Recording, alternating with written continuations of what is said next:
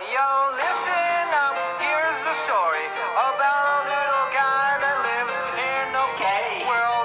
And all day and all night, and everything he sees is just Gay. like him inside and out.